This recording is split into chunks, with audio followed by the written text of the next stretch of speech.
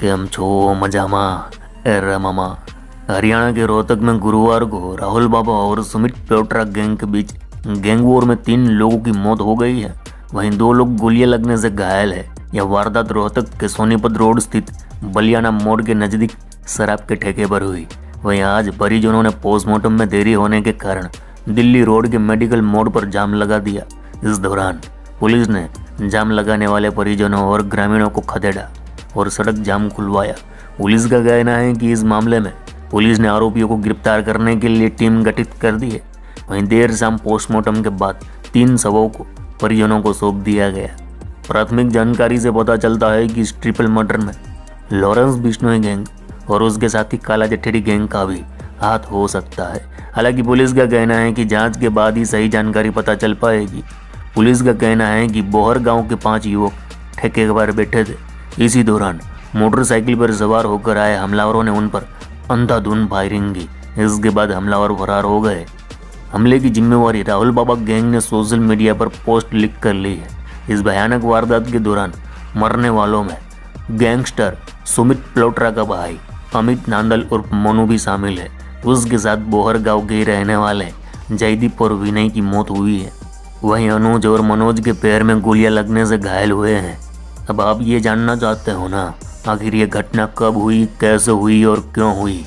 इस हत्याकांड की फ्रंट साइड और इन साइड दोनों थियरी आज आपको हम बताएँगे। देखो मामा, पुलिस की प्रारंभिक जाँच से यह पता चलता है कि गुरुवार रात करीब 10 बजे बोहर गाँव के पाँच युवक बलियाना मोड़ के शराब ठेके पर बैठे थे। तभी ठेके के बाहर तीन बाइक आकर रुकी। उन पर करीब सात से आठ लोग सवार थे। उन्होंने आते ही ठेके पर बैठे युवकों पर गोलियाँ चलानी शुरू कर दी। यह घटना इतनी तेज़ी से हुई कि उन युवकों को संभलने का मौका मिलता उससे पहले उनके शरीर पर ताबड़तोड़ गोलियाँ दाग दी गई और आसपास में भगदड़ मच गई। ठेके पर मौजूद बाकी लोग भी अपनी जान बचाने इधर उधर भागने लगे, छिपने लगे। और फिर जब हमलावरों को एहसास हो गया कि हमारा काम हो चुका है, वे तुरंत अपनी बाइकों पर सवार होकर रफू चक्कर हो गए। इस हत्याकांड में पाँच युवक घायल हुए। मौके पर मौजूद कुछ लोग घायलों को जानते थे। उन्होंने फ़ोन कर घायलों के घर वालों को सूचना दी। सूचना मिलते ही घायलों के परिजन मौके पर पहुँचे। उन्होंने सभी घायलों को गाड़ी में डालकर रोहतक पीजीआई पहुँचाया, लेकिन डॉक्टरों ने उनमें से तीन को मृत घोषित कर दिया। बाकी दो का इलाज जारी है। इस घटना के बाद रोहतक आईएमटी थाना के एसएचओ इंस्पेक्टर दिलबाग ने बताया कि वारदात को अंजाम देकर भागने वाले हमलावर में से दो हमलावर को पकड़ लिया गया है और उनसे पूछताछ की जा रही है। इंस्पेक्टर दिलबाग के मुताबिक, इस वारदात में राहुल बाबा गैंग का हाथ हो एज ए इनपुट मिल रहे हैं, और शराब के ठेके पर करीब 20 राउंड फायरिंग किए गए थे। इस ट्रिपल मर्डर ने पूरे रोहतक को हिला डाला है। उधर सोशल मीडिया पर आई एक पोस्ट ने आग में घी डालने का काम किया। इस ट्रिपल मर्डर की जिम्मेवारी सोशल मीडिया पोस्ट पर राहुल बाबा गैंग ने ली है। उन्होंने सोशल मीडिया पर लिखा, आज जो भी हुआ, उसकी जिम्मेवारी राहुल बाबा गैंग लेता है। जो भी बीच में आवेगा, मार दिया जाएगा। ध्यान दे रहियो अपने आगे पीछे देखकर। हालाँकि इस पोस्ट की पुष्टि हम नहीं करते। खैर, बोर गाँव का गैंगस्टर सुमित प्लोट्रा शराब कारोबार से जुड़ा हुआ है। साल 2017 में रोहतक कोर्ट में हुए गोलीकांड और मर्डर में उस घटना हम टॉप पर था। इसके अलावा, दिल्ली के मोनू दरियापुर ट्रिपल मर्डर में भी उसे उम्र कैद हुई है और दब व तिहाड़ जेल में है। उसके जेल जाने के बाद से ही उसका छोटा भाई, अमित उसका शराब का कारोबार संभाल रहा था। अमित करीब डेढ़ महीना पहले ही जेल से बाहर आया था। आखिर गैंगस्टर राहुल बाबा और गैंगस्टर सुमित प्लोट्रा के बीच क्या दुश्मनी है? और गैंगस्टर राहुल बाबा ने क्यों एक साथ तीन लोगों को मार दिया? आइए जानते हैं। दरअसल सूत्रों से मिली जानकारी के हिसाब से यह ट्रिपल मर्डर एक बदला है, एक गैंगस्टर का बदला। कौन सा बदला? तो आज से करीब दस महीने पहले सुनारिया जेल में गैंगस्टर राहुल बाबा पर जानलेवा हमला हुआ था। जिसमें वह बाल बाल बच गया था। बताया जा रहा है कि ट्रिपल मर्डर उसी का बदला है। यहाँ सवाल उठता है, आखिर दस महीने पहले सुनारिया जेल में क्या हुआ था? तो सुनो मामा, आज दस महीने पहले गैंगस्टर राहुल बाबा सुनारिया जेल में बंद था। दोपहर करीब पाँच बजे राहुल बाबा जेल कैंटीन की ओर जा रहा था।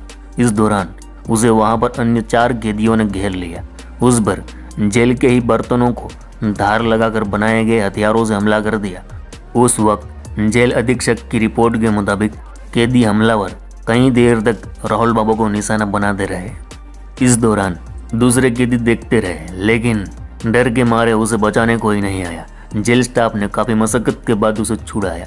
इसके बाद राहुल बाबा को तुरंत अस्पताल लाया गया। यहाँ डॉक्टरों से पता चला कि राहुल बाबा की पसलियाँ टूट गई हैं। उसके पर चालीस के करीब नुकीले हथियार के वार के घाव पाए गए हैं। खैर, इसके बावजूद उसकी जान बच गई थी। यहाँ बता दिए कि गैंगस्टर राहुल बाबा को पूर्व में रह चुके गैंगस्टर और अब राजनीति में उतर जगह रमेश लोहार का करीबी माना जाता है। रमेश लोहार के अपने ही गाँव बोहर के राजे और सुमित प्लोट्रा से कट्टर दुश्मनी है। सुमित प्लोट्रा ने रमेश लोहार को रोहतक कोर्ट में गोली मारी थी, जिसमें रमेश लोहार बाल बाल बच गया था। राहुल बाबा पर सोनारिया जेल में हमला करने वाले चारों कैदी सुमित प्लोट्रा के ही गुर्गे थे। और उस वक्त प्लोट्रा सोनू दरियापुर मर्डर में तिहाड़ जेल में बंद, आज भी वहीं बताया जाता है। खबरों के मुताबिक, सुनारिया जेल में राहुल बाबा पर हुआ जानलेवा हमले का बदला लेने के मकसद से सोनीपत के ठेके पर ट्रिपल मर्डर को अंजाम दिया गया है। अब इस ट्रिपल मर्डर और गैंग वॉर में दिल्ली और हरियाणा के खूंखार गैंगस्टरों की एंट्री होती है। आइए समझ लेते हैं। देखो मामा gangster Rahul Baba gangster Lawrence Bishnoi से काफ़ी नज़दीकी संबंध रखता है। इसके अलावा राहुल बाबा का कनेक्शन कला जट्ठेड़ी और अनिल छिपी से भी हैं। और कला जट्ठेड़ी अनिल छिपी ये सारे लॉरेंस के ऑर्गेनाइज क्राइम सिंडिकेट से जुड़े हुए हैं। यानी एक दूसरे का साथ देना, हथियार शूटर मुहैया कराना, एक दूसरे के दुश्मन को खत्म करना, मारना, गठजोड़ से ये लोग ताकतवर बनते हैं। यानी साफ़ शब्दों में कहे तो राहुल बाबा लॉरेंस बिश्नोई और काला जट्ठेड़ी से जुड़ा हुआ है। वैसे राहुल बाबा का अपने इलाके में अपना एक अलग गैंग है, जिसे आज़ाद गैंग कहा जाता है। सोशल मीडिया पर आपको राहुल बाबा, लॉरेंस बिश्नोई, काला जठेड़ी की एक साथ कई तस्वीरें मिल जाएगी, जिससे ये साबित होता है कि ये सारे एक ही सिंडिकेट का हिस्सा है। दूसरी ओर सुमित प्योट्रा, जो इन दिनों हरियाणा और दिल्ली में सबसे ज़्यादा सक्रिय भाऊ गैंग से जुड़ा हुआ है। भाऊ गैंग का नीरज भवाना बम्बिया गैंग से गठजोड़ है, यानी आप समझ गए होंगे। राहुल बाबा लॉरेंस बिश्नोई सिंडिकेट से जुड़ा हुआ है, जबकि प्लोट्रा भाऊ गैंग से नीरज भवाना गैंग से और भाऊ गैंग और लॉरेंस बिश्नोई गैंग के बीच कट्टर दुश्मनी है। इससे ये कयास लगाए जा रहे हैं कि रोहतक में हुए ट्रिपल मर्डर के बाद दिल्ली और हरियाणा में कोई बड़ा गैंग वॉर हो सकता है। तो मम, आपको क्या लगता है? कमेंट में ज़रूर बताना। चलो, इस गुज्जू भाई का राम राम, मिलते हैं फिर।